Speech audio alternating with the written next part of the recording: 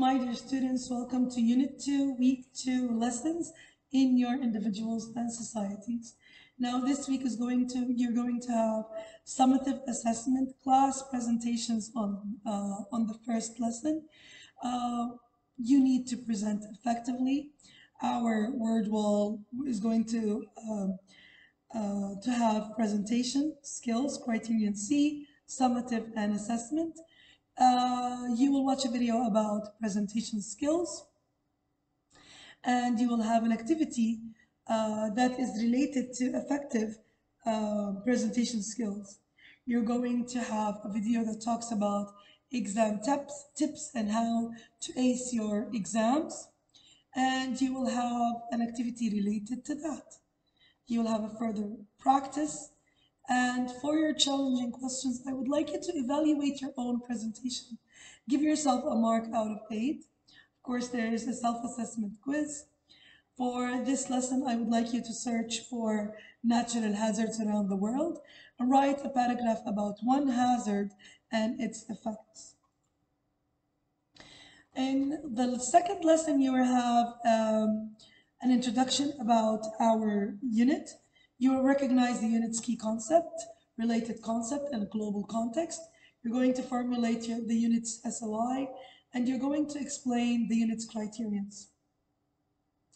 The word wall will have uh, key concept, related concept, SOI, TSR, and global context. You'll watch a video about these, uh, these things, the key concept, related concept, and global context. You're going to check what are the uh, what are the key concepts, related concepts, and global context of our lesson, and you're going to formulate the statement of inquiry. Uh, you're going to explore the global context in the IB and you will have an activity related to that. You will have a further practice. And for the challenging question, you are going to be assessed on criterion A and criterion D. Uh, I would like you to choose one criterion and make a PowerPoint presentation on how to get an 8 out of 8 in it. You will take a self-assessment quiz. And for what to do next, I would like you to collect pictures and articles about natural hazards and bring it to school. Lesson three is going to be an explicit. You're going to create a brochure about how to manage time. Um, the word wall is going to talk about managing time. It's going to talk about explicit. I'm going to edit this in front of you guys. So we're going to have explicit management, managing time. Okay.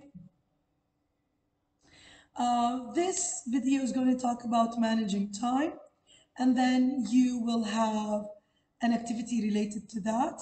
Then you're going to watch a video about how to make an artistic and handmade brochure. And I give I gave you links that are going to help you in making your brochure. And you will have a further practice link that's going to help you practice more on making your brochure. Uh, now for the challenging question, I would like you to print out November's calendar and start planning for your upcoming week. Um, I would like you to assess your time management, of course, and then I would like you at the end of this lesson to make your own daily planner to present it in front of the class. Can't wait to start this week with you guys.